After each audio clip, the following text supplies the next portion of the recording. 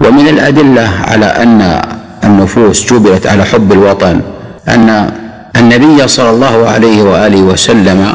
كما في حديث أنس وذكر ذلك ابن حجر في الفتح وعلق على ذلك إذا قدم من سفر نظر إلى جدرات المدينة وأوضع ناقته يعني أسرعها من حبه لها قال فهذا الحديث